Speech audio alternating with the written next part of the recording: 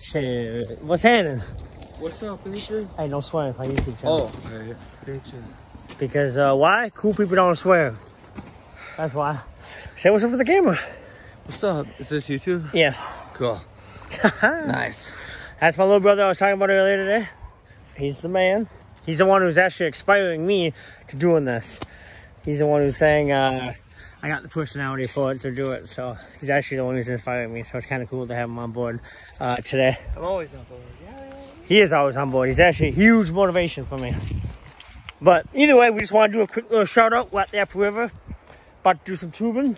Mm. And uh, yeah, Apple River is in uh, Somerset, Wisconsin. For those who, who are familiar where we're at. And uh, you got to give your ID. And you give them like 15 bucks. You get a tube for the day, or you can just buy one. I recommend just buying one because once you do it once, you're gonna want to do it again. Um, and yeah, they got. Oh, this is my wife right there. They got sweet little nature trails going down up and down the river too.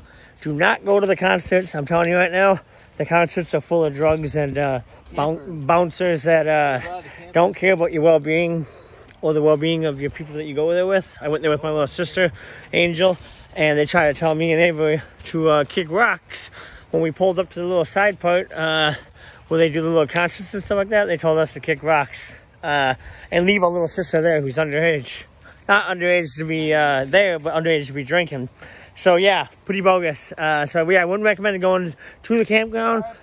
Go to the Apple River campground, but not Float-Rite campground. Float-Rite Park campground is bad. River's Edge, I mean, is bad. Um. So I'm just rambling. Either way, bad experience. Take take my word on it. Just just don't go there.